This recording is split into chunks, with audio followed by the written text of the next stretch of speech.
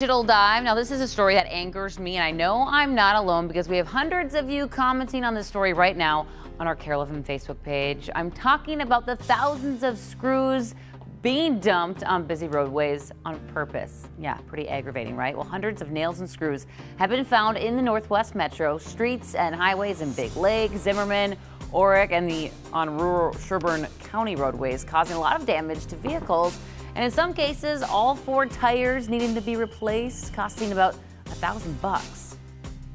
These have all been in a tire that we've pulled out, yeah. I mean, normally you might see a couple a day, but this is just crazy.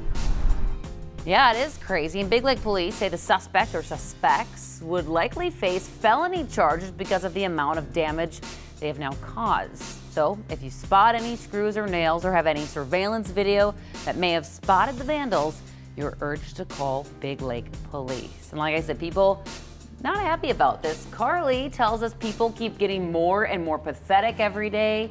Haley agreeing, saying people have zero respect for other people's property. And Elizabeth realizing she was one of the victims in all this, saying that explains why our tires have brand new screws in them. I am beyond pissed. She goes on to say they found a total of three screws in her tires.